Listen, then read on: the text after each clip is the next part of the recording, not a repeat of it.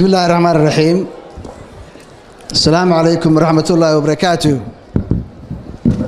madaxweynaha dowladda federaalk ee soomaaliya mudane maxamed cabdulaahi maxamed farmaajo. Guddoomiyaha aqalka sare ee dowladda federaalk ee soomaaliya mudane cabdixaashi cabdulaahi guddoomiye ku-xigeenka baarlamaanka mahad cabdila cawad. Madaxweynaha dowladda puntland mudane saciid cabdulaahi deni madaxweyne ku-xigeenka puntland mudane axmed cilmi cusmaan karaash. Madaxweynayaashii hore ee soomaaliya mudanayaal xasan sheekh maxamuud iyo mudane shariif sheekh axmed. Madaxweynaha jubbaland mudane axmed maxamed islaan. Madaxweynaha galmudug axmed ducaali geele xaaf. Madaxweynaha hirshabeelle mudane maxamed cabdi waare. Madaxweynaha dowladda koonfur galbeed ee soomaaliya mudane cabdicasiis maxamed xasan laftagareen guddoonka baarlamaanka puntland xildhibaanada labada aqal ee soomaaliya iyo puntland golayaasha wasiirada safirada beesha caalamka marti sharafta kale ee tirada badan ee caawa xafladan ka soo qeyb gashay mar labaad ayaa idinku salaamaya. Salaanta islaamka assalamu calaykum raxmatullahi wabarakaatu mudanayaal iyo marwooyin waxaan allah uga mahad celinayaa doorashadii puntland ee inagu qabsoontay si nabad ah xalaal ah xor ah. Doorashooyinka oo ka soo bilowday xulidii iyo tartankii beelaha dhexdooda ay ku soo xusheen ciddii ku matali lahayd xubintii baarlamaanka ee puntland kadibna aan dooranay guddoonka baarlamaanka aynu ugu dambeysay doorashadii madaxweynaha iyo madaxweyne ku-xigeenka. Waxaan leeyahay hambalyo madaxweyne siciid cabdulaahi deni madaxweynaha cusub ee shanta sane soo socotay ee puntland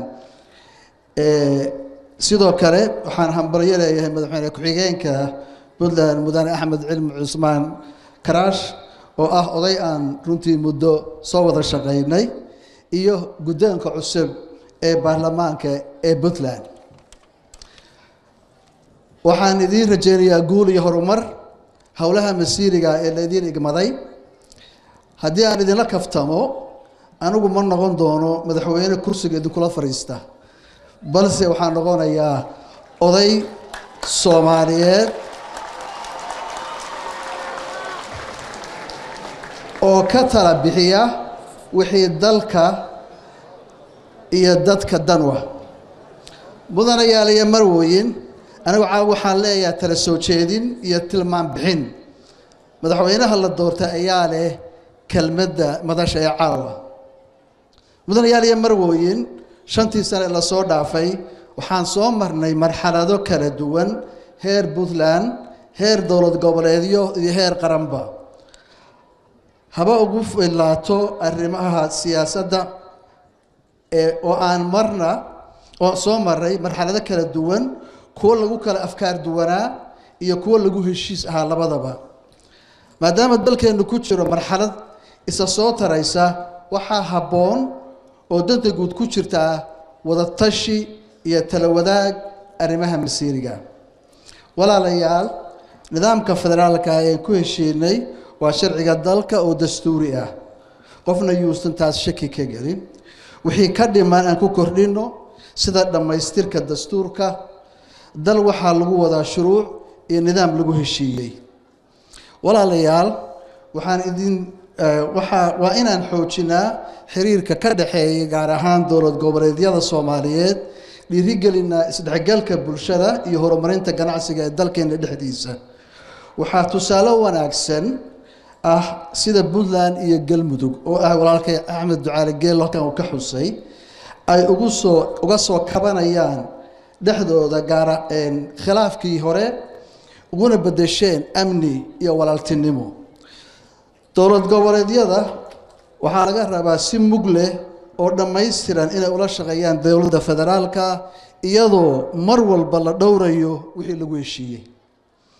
Caawa waxaa halkan fadhiya madaxdii soomaaliya oo dhan heer federaal iyo heer gobolba. Siyaasiyiintii inta badan waxgaradkii soomaaliyeed. Inteenna halkan fadhida ayaa ku matalaya guud ahaan dadweynaha soomaaliyeed nooca dalka iyo siyaasadda aan doonayno waxaan joognaa meeshii la ohan jiray cidna uma maqna ceello uma qodna. Fursaddan caawa aan haysanno aan uga faa'iidaysanno. Wada hadal iyo heshiis dhab ah oo ku salaysan iscafis iyo wada shaqayn soomaaliyeed ee dhinac walba ah siyaasad dhaqaale iyo amniba. Ugu dambayn waxaan u mahad celinayaa saaxiibadii halwadeennadii golayaashii heer wasiir iyo heer baarlamaan dhaqankii waxgaradkii reer puntland ee aan soo wada shaqaynay iyo saaxiibadaydii heer soomaaliyeedba. Waxaan rajaynayaa puntland iyo soomaaliya oo horumar dhinac kastaba ah gaara. Annagu wixii aan qaban karnay ee horumar iyo dibudhis dalka ah waan qabanay si hagar la'aana. Wixii aan noo qabsoomin dowladnimadu waa la kabiyo maalin maalinba mid dusha laga saarayo. Waxaan u rajaynayaa dowladda cusub inay halkaas ka sii wado labalaabtana horumarka dalka iyo dadka.